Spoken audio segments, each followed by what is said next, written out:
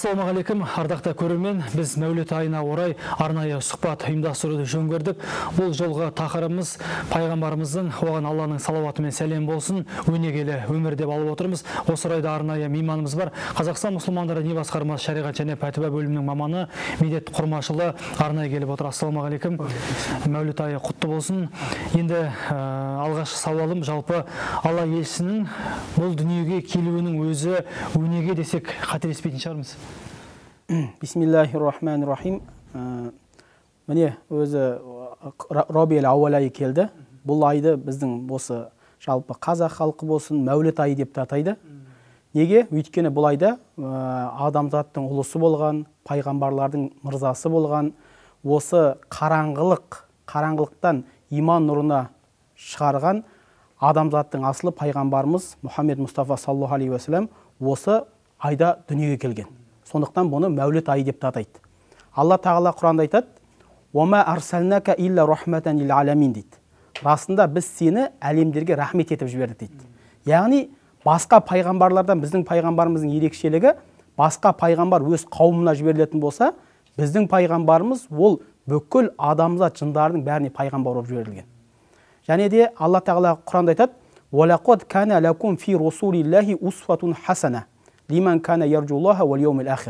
расында сендерге алланың елшісін аллаға және ақырет күнінде және алла тағаланы көп еске алып зікір етушілерге алланың елшісінде көркем өнегелер бар дейді. Енді біз мысалы мұхаммед саллаллаху алейхи уассаламның үмметіміз дегеннен кейін біз ол кісінің мынау сирасын дейміз өмірбаянын біз жақсы білуіміз керек. Ол жайында кітаптар өте көп. Мысалы пайғамбарымыздың қалай тамақ жегені болсын қалай намаз оқығаны болсын пайғамбарымыздың жорықтары болсын пайғамбарымыздың әйелдері жайында жалпы өте жаңағы ә, кітаптар өте көп. Көп кітаптар жазылған. А, енді осы біз пайғамбарымыз жаңағыдай ата анамыздан да жақсы танып соған біз пайғамбарымызға бұл нәрселерді ілесуіміз керек. Бұл пайғамбарымызды мысалы қарайтын болсақ оның туылуы болсын оның жаңа кім емізді пайғамбарымыз оның бәрі бәрі жазылған.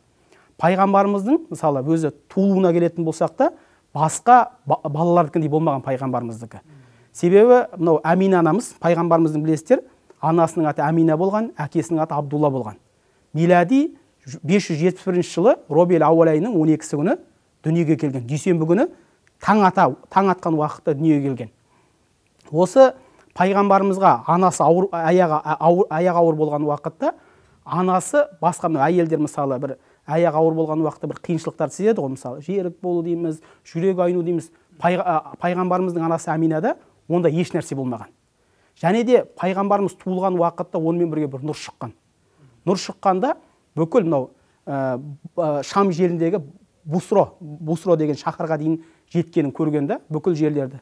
Сонда кейін осы пайғамбарымызға пайғамбарлық келіп сол пайғамбарлық жайыла бастаған уақытта ең бірінші сол жер осы мынау араб түбегін санамағанда ең бірінші ислам дінін қабылдаған сол жерлер болған. Және де осы пайғамбарымыздың мынау білесіздер арқасында мынау сол жағында жүрек тұсында арқасында пайғамбарлық мөрі болған. Пайғамбарлық мөрі болған. Бұл да сол пайғамбарымыздың бір ерекшеліктері. Және туылған уақытта бұл сүндеттеліп кіндігі жаңа кесілген халде туған. Бұл өзі пайғамбарымыздың тууының өзі сол айналасындарға айналасындағы адамдарға береке болған. Мынау босандырған уақытта төрт әйел босандырып алады ғой. Соның бірі жаңа умму айман болады шифа деген анамыз болады фатима деген анамыз болады және де суайба деген анамыз болады. Бұл умму айман білесіздер кімнің ә, усама ибн заидтің анасы. Сол усама ибн заид 17 жасында үлкен армияны басқарған. Сондай бұл айтқанда осыны ғалымдар айтады бұл да бір алла пайғамбарымыздың оларға болған берекесі. А шифа деген ол абдрахман ибн ауфтың анасы болған. Ол да мысалы ең бай сахабалардан болған және жәннатпен сүйіншіленген он сахабаның бірі болған. бір жерде отырып сүйіншіленген он сахабаның бірі болған. Және де мынау суайба бұл абу жахл жаңағы кімнің? Абу ләхабтың күңі болған. Осы пайғамбарымыз туылды деп абу ләхабқа сүйінші сұрап барған уақытта соны азат қылып жіберген. Яғни күң болып жүріп бірден азат азат болған. Фатима анамыз да жаңағы усман ибн абиас деген кісінің ә, анасы болған. Ол да усман ибн абиас та үлкен ғалымдардан болған. Жаңа білесіздер пайғамбарымыз жаңағы одан кейін халима анамыз емізуге алады. Ол үйде қаншама берекелер болады мысалы. Жаңа ең ақырында келген есегі ең бірінші барады.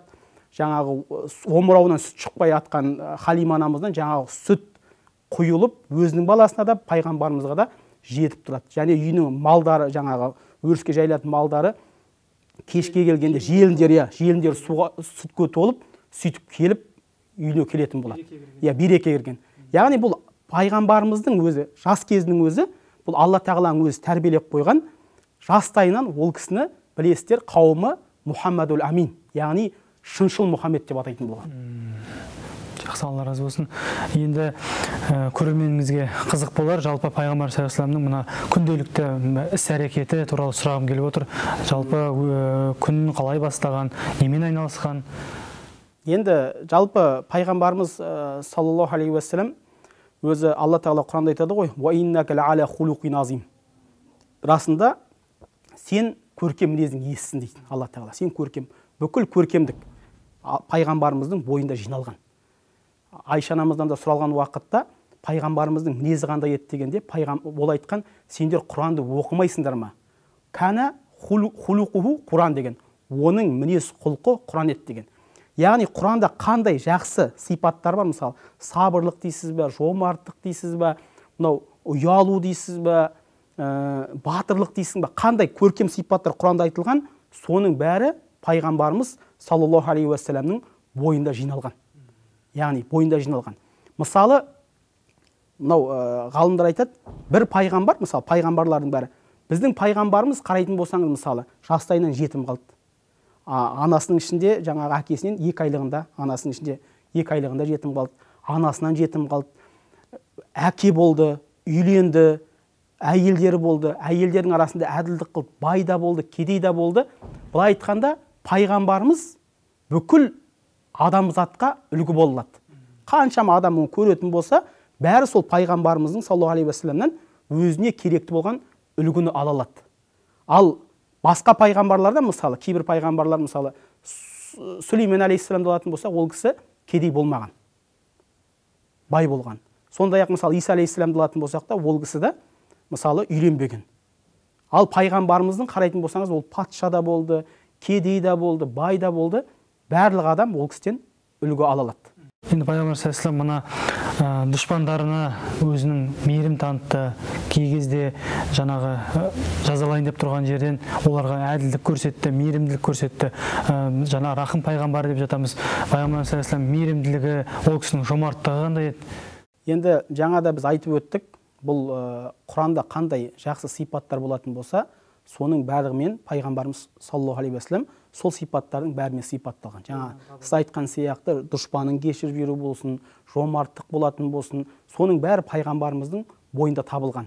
Енді соған бір мынау пайғамбарымыздың өмірбаянынан бір екі мысал келтіретін болсақ ә, білесіздер мынау ә, жаңағы пайғамбарымыздың ең үлкен жәрдемшілері оның көкесі абу толиб болған және хадиша анамыз болған. Көп осы пайғамбарлықта жәрдем беретін. Сол алғашқы кезде иә алғашқы кезде сол көп ә, пайғамбарлыққа жәрдем беретін осы екі кісі болған. Сол ә, осы мынау ә, меккенің мүшриктері пайғамбарымызға байкот жариялап сол байкот үш жылға созылады. Сол байкоттан жаңа бір ә, не андай бір ойпатқа бәрін нетіп содан шығармай қояды. Кейін сол байкот біткеннен кейін пайғамбарымыз өзінің жаңағы нелерімен ә, туысқандарымен бәрімен қайтып келеді. Келгеннен кейін абу толиб көкесі ауырып ол кісі қайтыс болады. Кейін хадиша анамыз да ол кісі ауырып одан көп өтпей бір үш төрт күннің ішінде ол кісі де қайтыс болады яғни бұл жыл пайғамбарымызға қайғыға толған жыл деп аталған. Сол баласы да сол жылы шетінеп кетеді сол қайғыға толы жыл болып кейін пайғамбарымыз өзіне жәрдем сұрау мақсатында сол таиф деген қалаға барады. Таиф деген қалаға барады. Сөйтіп таифқа барып осындай мен шын пайғамбармын сендер маған жәрдем беріңдер осындай дінге ілесіңдер деген уақытта олар жаңағы өздерінің жаңа нелеріне жас балаларына жаңа үлкен жаңа жындыларына дейміз ба сондай адамдарға таспен пайғамбарымызды ұрып тайып қаласынан шығарып жібереді. Бұзықтар бұзықтарға иә. Пайғамбарымыз жаңағы бір баққа келеді сол жерде аяқтары жаңа қанап тұрып аяқ киімдері қанға толған халде алла тағалаға дұға қылады. Е аллахым мен саған өзімнің әлсіздігімнен саған осындай бір мынау қауымыма жаңағыдай осы уағызың жеткізе алмай жатқаннан саған сенен жәрдем сұраймын.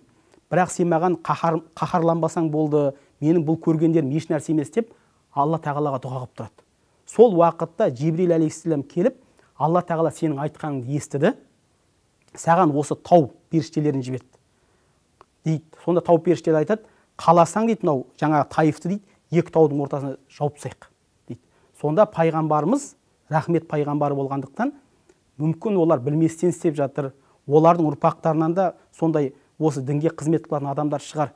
Мен оларды кешірдім деп сөйтіп пайғамбарымыз саллаллаху алейхи уассалам кешіреді сондай ақ білесіздер мысалы мекке халқы пайғамбарымызды өлтірмекші болып былай айтқанда меккеден шығарып жіберген уақытта да туған иә қаласынан. туған қаласынан шығарып жіберген уақытта да он жылдан кейін келіп пайғамбарымыз саллаллаху алейхи уассалам он шамамен он жылға келіп сол уақытта меккені алады ғой.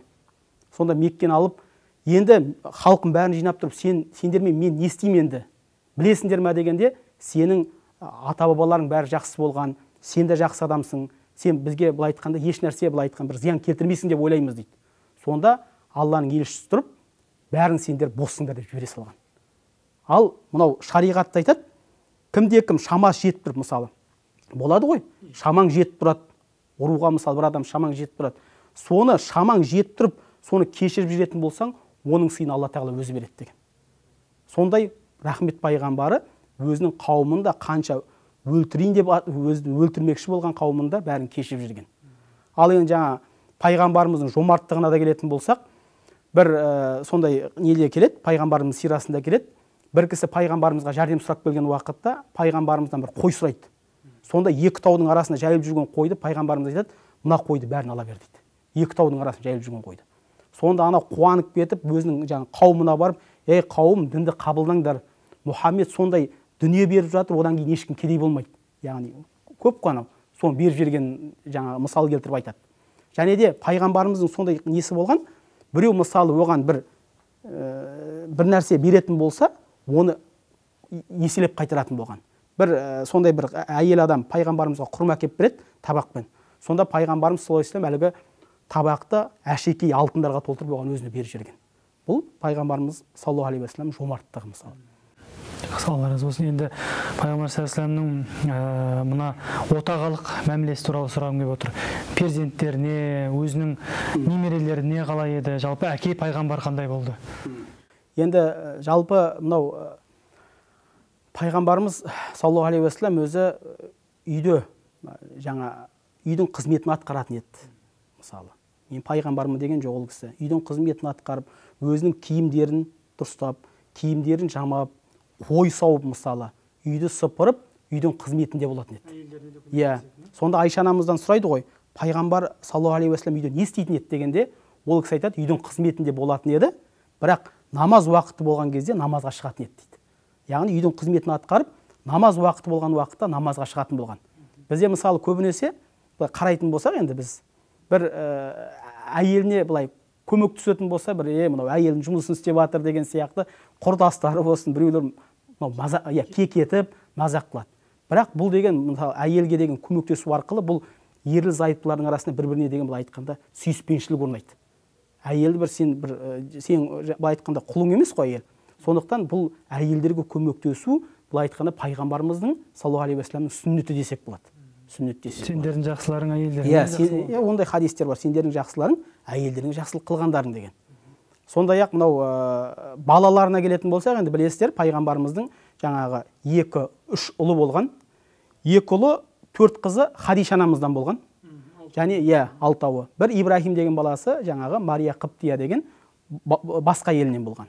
Былай айтқанда пайғамбарымыздың саллаллаху алейхи уассалам жеті баласы болған. Енді мынау ұл балалары мынау екі ұл баласы хадиша анамыздан туған ол ә, кішкентай кездерінде негізі иә жалпы балалар иә балаларының бәрі үш баласы да кішкентайында шетінеп кеткен негізі. Ал қыздары енді ол исламға келіп қыздары сөйтіп дүниеден өткен. Енді жалпы пайғамбарымыз өзі былай қарайтын болсаң ол өзінің балаларына ғана емес бүкіл балаларға өте мейірімді болған. Мысалы жаңа бір ә, нелерде келеді. Пайғамбарымыз өзінің жаңағы хасан хусейн деген фатима анамыздың екі былай айтқанда немересі болған ғой. Соны пайғамбарымыз сүйіп еркелетіп жатқанда бір сахаба келіп қалады. Сөйтіп әлгі сахаба тұрады айтады мен он балам бар дейді. Бірақ ешқайсысын былай иіскеп маңдайынан сүйіп ондай еркелетпеймін дейді. Сонда алланың елшісі тұрып айтады кімге мейірімділік қылмасаң жаңағы өз балаларыңа мейірімділік қылмасаң алла тағала да саған мейірімділік қылмайды дейді. Және де осы өз жаңағы хасан хусейнді құшақтап жаңағы райхан гүлдерім бұла- бұлардан жәннаттың иісі шығады деген сияқты қылып еркелетіп сөйтіп отыратын болған тіпті жаңа иә. иә намазға сәжде қылған уақытта арқасына мініп алып сол құлап қалмасын деп сәждеде көп тұрып сөйтіп өте еркелетіп істейтін болған. Енді пайғамбар саллаллаху жаңа намаз деп отырмыз ғой жалпы намазы қандай еді құлшылығы оразасы қандай болды соны да айта отырсақ. Пайғамбарымыз ол кісіге алла тағаланың салауаты сәлем болсын өз уақытын негізі үшке бөлетін болған. Соның бір бөлігін құлшылыққа бөлетін болған бір бөлігін жаңағы жанұясына бөлетін болған бір бөлігін жалпы адамдарға бөлетін болған. Жалпы адамдарға. Мысалы уағыз айту басқасы бар жалпы адамдарға бөлетін болған. Енді пайғамбарымыздың саллаллаху алейхи уассаламның өзіңіздеріңіз білесіздер бұл кісі мүлдем күнә істемейді пайғамбарлар. Күнәдан пәк. Үлкен кіші күнә деген пайғамбарларда болмайды. Сол ә, пайғамбарымыз саллаллаху алейхи уассалам білесіздер мынау аяқтар ісіп кеткенге дейін аяқтар іскенге дейін ә, тіпті аяқтар жарылғанға дейін намаз оқитын болған. Сонда айша анамыз алла ол кісіге рахметін алсын е алланың елшісі сіздің алдыңғы кейінгі күнәларыңыз кешірілген ғой. Сіз былай айтқан күнәңіз күнәларыңыз кешірілген ғой. Иә неге өзіңіз осыншама қинайсыз деген уақытта мен шүкіршілік ететін пенделерден болсам болмайды ма деген. Тіпті сол түнгі намаздарын оқитын уақытта да түнгі намаздарын оқитын уақытта да осы айша аналарымыздан аналарымыздан рұқсат сұрап барып сол намаздарын оқитын болған. Яғни мынаны қарайтын болсақ жаңа сіз айтып жатсыз ғой жаңа бала жылаған уақытта деп. Алланың елшісі жалғыз өзі оқитын болса намаз ұзақ оқитын болған. Ұзақ оқитын болған. Себебі сондай хадистер бар. Қай намаз абзалырақ деген уақытта мынау көп қиямда тұрған намаз абзалырақ деген. Яғни көп тұрып. А, ибн масудтардан хузайфа ибн ямандардан келеді ғой. Ибн масуд айтады бір күні түнде келе жатсам пайғамбарымыз саллаллаху алейхи уассалам намаз оқып тұр екен дейді. Сөйтіп артына келіп жүгіріп келіп ұйыдым дейді жаңа намазға. Сөйтсем оқып жатыр оқып жатыр. Намаздан отырып дұға қылып шығып кеткім келді дейді. Намаздың ұзақтығы сондай. А хузайфа ибн яманнан келген хадисте ол кісі айтады келіп пайғамбарымызға саллаллаху алейхи уассаламға түнгі намазында ұйыдым дейді. Сөйтіп бақараны оқыды дейді. Бақараның бір парасын бітіріп жаңа рукуге баратын шығар деп ойладым дейді. Жоқ олай істеген жоқ. Бақараны бітірді дейді али имронды бітірді дейді ниса сүресін бітіріп барып сәждеге барды дейді. Ол ойлаңыз сіз оның бәрі алты парадай болатын болса жүз жиырма беттей сондай бір рәкаттың өзінде жүз беттен артық оқып барып рукуге барған. Сондай былай айтқанда намазды ұзақ оқитын болған. Ал ә, қауыммен жамағатпен намаз оқитын болғанда пайғамбарымыз жамағаттың жағдайына қарап қысқартып оқитын болған. Тіпті кейбір ә, жаңа сахабалардан сондай біреулер намазды ұзақ оқи, оқытып жатыр бізге деп сондай бір ә, жаңа не дейміз өтініштер келіп түскен уақытта пайғамбарымыз айтқан бұлардың ішінде намазхандардың ішінде қажет иелері бар бір қажеттері бар адамдар бар. Иә асығыс болуы мүмкін. Ауру адамдар бар сондықтан жамағаттың жағдайына қараңдар деген. Енді ә, жаңа оразасында қысқа нұсқа оразасына тоқталатын болсақ ә, пайғамбарымыз саллаллаху алейхи уассалам білесіздер жаңа айтып өттік біз басында дүйсенбі күні дүниеге келген пайғамбарымыз. Дүйсенбі күні пайғамбарымызға ең алғашқы уахи түскен уахи түскен. Және де осы дүйсенбі күні пайғамбарымыз саллаллаху алейхи уассалам дүниеден өткен. Сонда пайғамбарымыз осы дүйсенбі ораза ұстайтын болған. Бейсенбі күні әр жұмада ораза ұстайтын болған. Сонда сіз неге осы дүйсенбі бейсенбі ораза ұстайсыз деп сұралған уақытта мен амалдарымның бұл осы дүйсенбі бейсенбі күні пенденің амалдары алла тағалаға көтеріледі. Мен өзімнің амалдарым алла тағалаға ораза күйімде көрсетілуін қалаймын деген. Яғни ораза күйінде көрсетілуін қалаймын деген. Енді пайғамбарымыздың оразасына келетін болсақ пайғамбарымыз рамазан айының оразасын толығымен ұстайтын болған. Басқа айларда ешқандай айды толық ұстамаған. Яғни бір ораза ұстап бір күн аузын ашып және хадистер бар ең жақсы ораза ол дауд алейхисаламның оразасы деген. Яғни бір күн ораза ұстап бір күн ауыз ашық бол бір күн ораза ұстап бір күн ауыз ашық бол. Соңғы сауал қойғым келіп отыр. Алла елшісінің саллаллаху алейхи жалпы үмметіне нені өсиет етті? Біз ол кісінің сүннетіне қалай берік болуымыз керек? Енді жалпы ә, пайғамбарымыз ә, саллаллаху алейхи уассалам үмметіне көп өсиеттер қылған. Мысалы әртүрлі сахабаға әртүрлі өсиет қылған. Мысалы биләл радиаллаху анху айтқан садақа қыл биләл кедейліктен қорықпа деген. Бір бір сахабаға айтқан сен қауымның беделді адамыңнан қалай ұялатын болсаң алла тағаладан солай ұял деген. Бір, бір сахабаға айтқан ашуланба деген. Мысалы әркімге өзінің жағдайына қарай әр адамға әртүрлі өсиет қылған. Бірақ жаңа ә, пайғамбарымыз енді ең ақырғы осы дүние дүниеден өтер кезіндегі ә, өтер кезінде жалпы ә, пайғамбарымыз ә, сендерге екі нәрсені тастап жатырмын деген біреу оның сендерге жаңағы сөйлеп уағыз қылады деген біреулер сендерге үндемей одан бір ғибрат аласыңдар деген. Ол сөйлеп сендерге уағыз қылатын ол құран деген. Яғни сендерде қандай бір мәселе шығып қалатын болса сендер құранға жүгініңдер деген. Ал ә, сендерде бір ә, мынау дүниеге деген қызығушылық сондай болып жататын болса сендер мынау өлімді көп еске алыңдар деген. Сол уақытта жаңағы дүниеге деген қызығушылық кетіп сондай бір ә, ғибрат аласыңдар деген. Сондай ақ мынау дүниеден өтер кезінде көп намазға көп өсиет қылған пайғамбарымыз. Намазды уақытында отырғызыңдар деп. Және осы әйелде әйелдеріңе қорқыңдар ә, әйелдеріңе жақсылап қараңдар деп көп өсиет қылған пайғамбарымыз саллаллаху алейхи уассалам. Енді жалпы ә, пайғамбарымыздың осы сүннетін жаңағы қалай ұстануға келетін болсақ біз мынау ә, пайғамбарымыздың жалпы өмірбаянын әрбір үмметіне білу уәжіп білу керек. Оның біз мынау ә, сира кітаптарын оқитын болсақ оның өзі ғибадат болып саналады ғибадат болып саналады. Біз қанша оның пайғамбарымыздың өмірбаянын көп оқиған сайын ол кісіге деген біздің махаббатымыз артады. Бірінші мынау ғалымдар айтады ең бірінші мысалы сен бір адамды тануың керек дейді. Мысалы мен сізді танымаймын сіз жайында ешнәрсе айта алмаймын. Сізді жақсылап танитын болсам мысалы ол тану үшін не? Жаңа оның өмірбаянын оқуымыз керек пайғамбарымыз саллаллаху ал кім пайғамбарымыздың өмірбаянын оқитын болса ол әлбетте ол кісінің пайғамбарға деген танымы артады пайғамбарға деген махаббат артады. Мысалы пайғамбарымыздың саллаллаху алейхи уассалам өмірбаянын қарайтын болсақ ол жаратылысынан түгел кемелдік жинаған. Жаратылысы сондай кемел оның. Мінез құлқы мінез құлқы оның сондай кемелдікке ие болған. Көркем. Және де қарайтын болсақ мысалы бір адам бір адамды көбінесе оған сен жақсылық қылатын болсаң жақсы көреді. Мысалы. Ал пайғамбарымыз қарасаңыз бүкіл үмметіне қаншама жақсылықтар қылды сондықтан оны оқыған адам әлбетте пайғамбарымыз таниды. Кім пайғамбарымыз танитын болса оған деген махаббат артады. Ал кімнің бір, біреуді бір адам жақсы көретін болса оған ілесуі сөзсіз. Енді айтып жатады ғой мына пайғамбар саллаллаху жаңа пайғамбардың шапағаты болсын деп. Ә, шапағатына ие болу үшін біз қандай амалдар істеуіміз керек және мына салауат айтудың маңызы? Осыны бір сұрағым келіп отыр.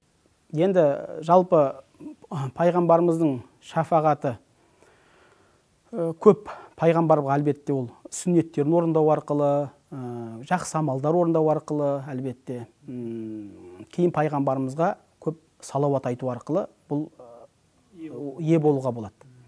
Алла тағала құранда айтады ғой